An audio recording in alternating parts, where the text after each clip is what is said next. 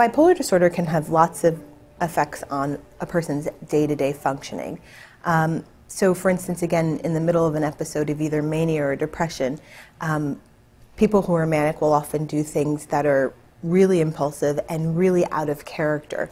And so issues of infidelity can come up, for instance, in a patient with mania who's having a sexual partner or sexual partners outside of the relationship in the midst of a manic episode.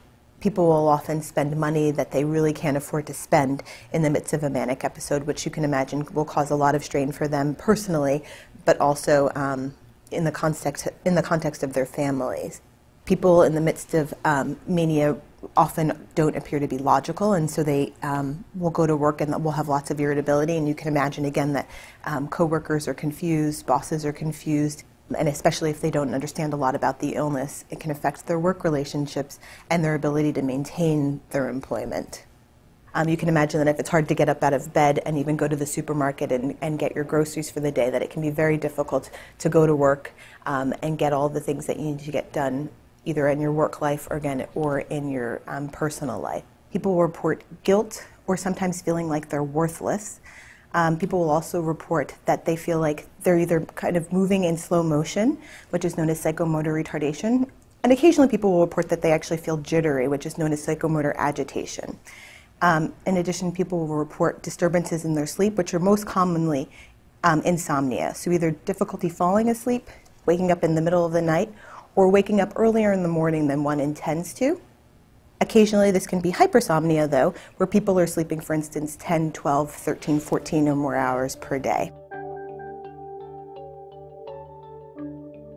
Patients with bipolar disorder often um, are resistant to receiving treatment, especially during a manic episode.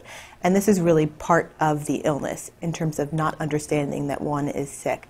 Bipolar disorder cannot be cured. However, people will often find that they will go the, you know, periods of time without having any illness or periods of euthymia. It really depends on the individual um, and how their clinical course goes, as well as finding treatments that work.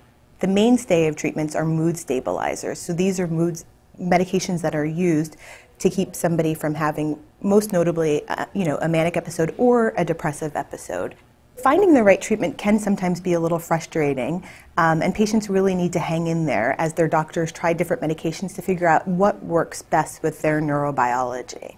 In order to support um, a loved one who has bipolar disorder, it's really important to realize um, that this is an illness like any other illness. A lot of times people will think of mental illnesses as being something that's within the control of the individual. Um, and the individual will often think that as well, feeling tremendous guilt when they do have episodes of either mania or depression. And so the first thing is realizing that um, people don't choose to have bipolar disorder and they would definitely choose to um, live with more mental wellness than having this illness. Um, it's really important to be calm present and consistent with people with bipolar disorder, as well as supporting them and maintaining their treatment. In the next 10, 20, 30, 50 years, I really see a lot more research being done to try to find treatments that are effective and have less side effects than some of the medications that we have currently available today.